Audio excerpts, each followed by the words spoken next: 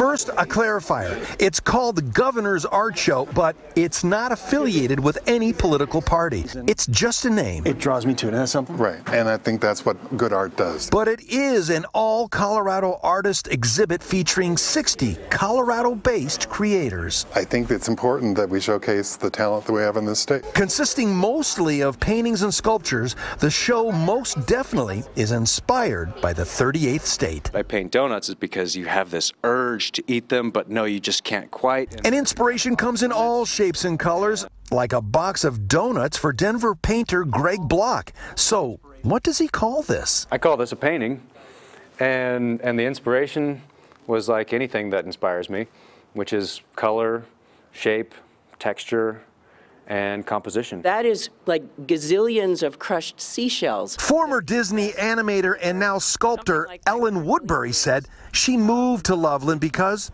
it's Sculpture Town. Loveland has four fine art bronze foundries, which is which is incredible for a community community of this size. You don't have to be a sommelier to like wine, and you don't have to be an art critic to like art. When I look at this, I think it's beautiful. The colors just really speak to me. Right.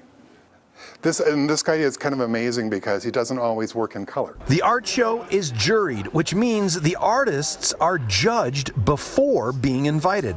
Should we really be judging others? Uh, yeah. Dan DeRue, Fox 31.